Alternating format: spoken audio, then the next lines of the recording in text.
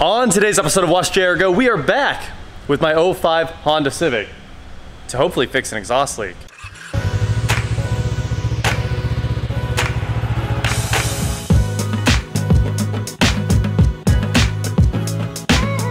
What is going on guys? I am Watch Go and today we are here with the 05 Honda Civic I bought. It was abandoned in a church parking lot for years and I picked it up for just $500. Now we've got the speed uh, sender, the you know vehicle speed sensor itself, replaced that. Speedometer's fixed, transmission's working great. Today, I'm just gonna take you guys' word for it. All the comments said it's a cracked exhaust manifold because the cat is in it. So I didn't didn't even look. I was just like, you know, seems very plausible. We're gonna order one. Also, the uh, exhaust manifold was like $150 with the cat in it. I think the factory cat might sell for more, so this might be a free repair.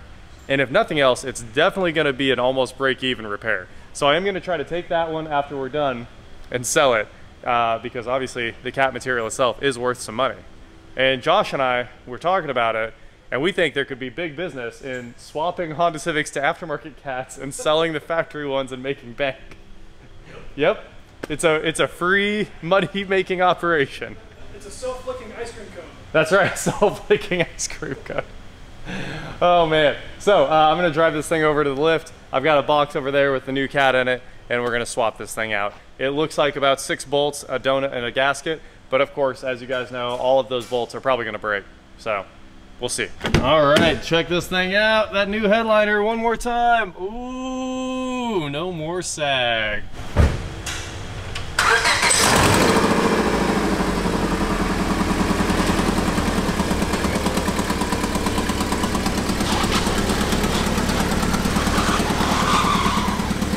You can definitely hear that exhaust leak from uh, really anywhere you are. It's so loud.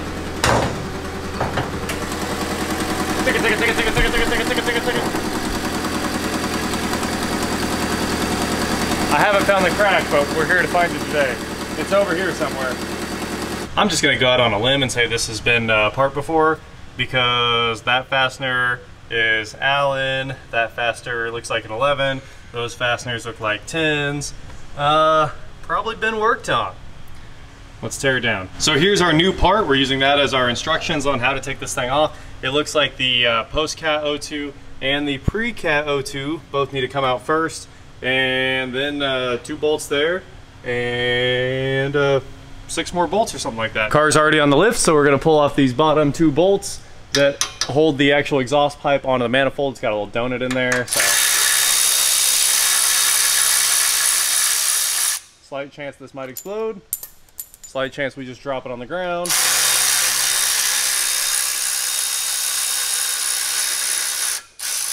And now nothing is holding the exhaust pipe. I did pre-soak all this with uh, knocker loose just a second ago, so that's why it's coming apart very well. Hey, look at that. Well, wouldn't you know it, I need my O2 sensor socket set. It's at my house.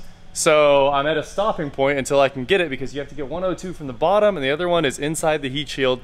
So it doesn't really work without a socket set. You can't use a wrench and you can't use a crescent wrench, uh, the usual O2 sensor removal methods. So I'm heading back to my house to pick up the socket set and then we'll continue getting this thing apart. And we are back now with more sockets. So I think it's this one here. A little bit of a tricky angle to actually hit this sensor. It is that one. All right, let me grab an extension and I will pop those loose, hopefully. Uh, I think they'll probably come off, but you never know. I'll take things that never happen for 200, Alex. The O2 sensor came immediately loose and it's uh, hand tight. So I just need to unscrew it and then go do the top one. I can only assume it's because I soaked these bungs and the sensors with knocker loose before I left and it sat there and dried and both of these just popped loose instantly. The least amount of work I've ever had to do to get O2 sensors out. Ooh wee. That's uh looking a little rough there.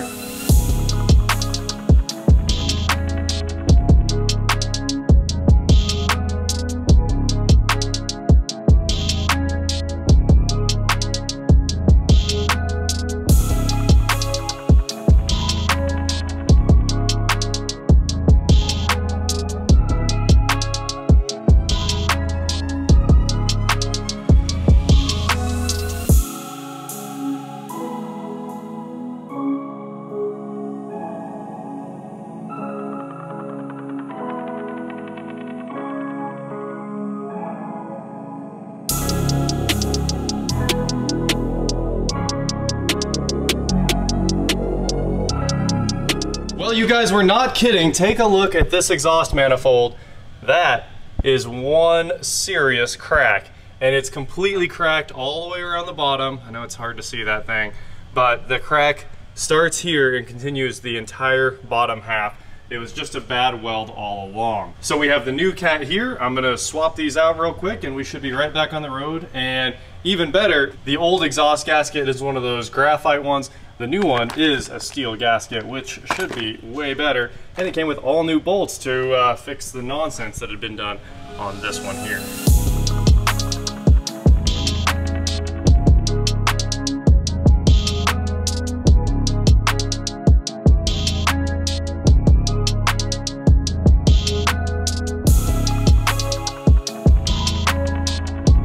The internet disagrees on the exhaust manifold torque spec, so I'm gonna set this to 25, 6, 26. Uh, some people say it's 33, some people say it's 22, and instead of doing it wrong, why don't we just go in the middle? It's definitely not very tight, just enough to crush this gasket. So, we'll uh, tighten these evenly for a minute. There we go. Okay, other side. We'll probably just go back to the middle, huh?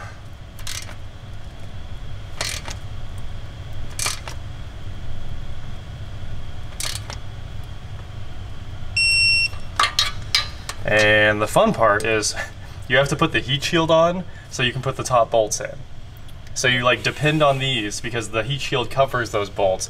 That seems like a really bad design if you're trying to torque something evenly, you know? Huh. You like hope that this is everything. Okay, here we go. Boom. All right, time for the heat shield and then I can finally reinstall the rest of the bolts here. Yeah, basically ready to roll. We should start it up open header like this, don't you think? Uh, Zero percent. Why not? it's so much fun. Because it's gonna sound like someone farted in a bowl of pudding. All right, let's test that Wow. theory. They won't even be mad because the O2s are just gone. This sounds nasty. I love it. Tell me that's not. That's the classic Honda sound right there. I guess it didn't sound as bad as I thought it was going to. I only gave it like 2,000 RPM, maybe. Can you imagine that at full tilt? no. Oh man, it would be so. So loud. someone needs to make a test pipe that just screws on there. Comes out through the hood. you unscrew the O2, and that's how you get your Honda exhaust straight up the hood. Yep. I bet it would shoot fire, which would be sweet. We are about to have a feast. Detail dudes went and got Chipotle, setting up tables. Oh man, we're gonna have chairs. Because you know you know what's up. Apple event about to start. So I should have this wrapped up about the time this starts. We've got about five, ten minutes left. Three minutes left. Yeah, we have that many minutes. All right, new exhaust manifold installed, O2 sensors all hooked back up, everything torqued to spec. Now, the heat shield didn't exactly fit on the new one, so I had to do a little clearancing. If you look, you see those little notches. I uh, just took the large pry bar and the large hammer, gave it a little couple hits because the socket for the O2 sensor wouldn't go on with that new heat shield. So a little bit unfortunate, switching to the cheaper part, fitment a little worse, but we got it done and everything's back together. So let's start it up for the first time and see if there's exhaust leaks. Also, uh, I'm, you know, 99% sure we're done. So I'm gonna go ahead and drop the lift all the way. And after that, the only thing left here is fixing the AC. And I hope it just needs charged. Here we go.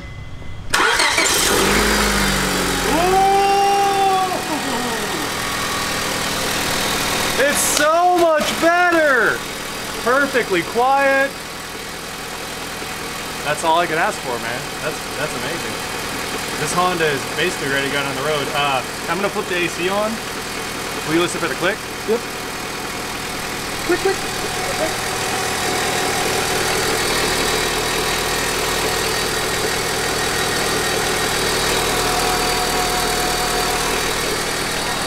No click. No, I wonder. Look at all the packing oil turning off there. If it's uh, this side we need to check. So we've been over here trying to troubleshoot the AC system and uh, the pressures look okay. So if you look deep down inside, deep, we gotta make this thing focus.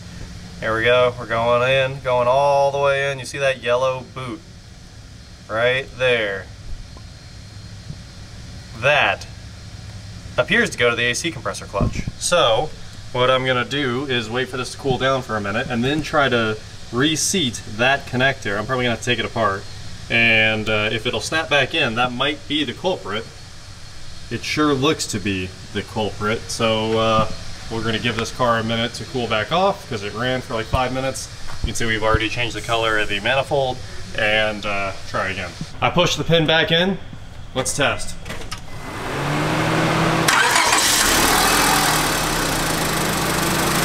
I think it works. Yeah. It's definitely squeaking. Yeah, and the belt started screaming. Oh, I can feel it. Yep. Yeah, ice cold AC. well, that cost me zero dollars. Just one burned hand, so I guess we'll just count that as zero dollars. Hands are free. Hands are free. Those are cheap. You were born with those. Oh man. You can't write it off on your taxes. It doesn't count It's a loss. Well, there you go, guys. The $500 Honda is completely fixed for $92 plus about 150 for that header, and I'm still going to return the old one because it's got a good cat in it. The catalyst material looks good, and uh, hopefully get my 150 back. So $592 was the total cost to fix this thing. Oh yeah, my CD. It's Taylor Swift about the old reputation. Swiftie? Oh yeah, yeah, yeah. Good old Swifty.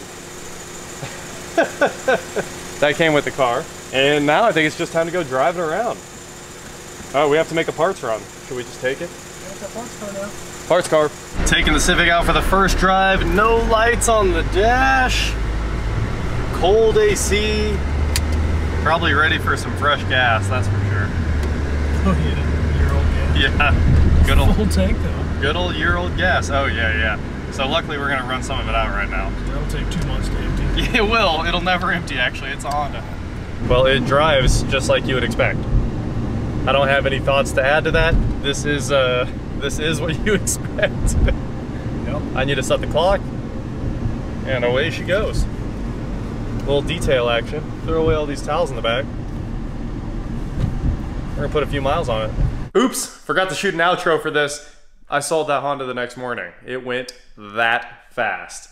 Um, I, I did pretty well on it. The Honda was a lot of fun. Now, back to the next flip or the S4. So uh, we got a lot coming up on the XC90, the free Volvo XC90, and a lot coming up on the Audi S4 from CarTrack. Anyway, that is it for today, guys. Thank you so much for watching. Don't forget to head on over to shop, watchjrgo.com where you get cool shirts, not like this. And please like, share, subscribe, do whatever you want to do. And I will talk to you next time.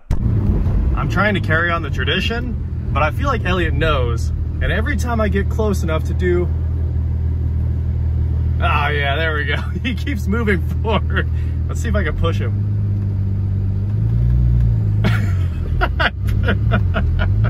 Payback? That's uh, my bad. I think I might have touched your car. Do you need some insurance information? No, he's not going to show a mark. He said it's guardrail with no damage. I doubt an S4's going to bring it. You, you're puny Audi. I bet you, I bet you got paint damage. I probably do.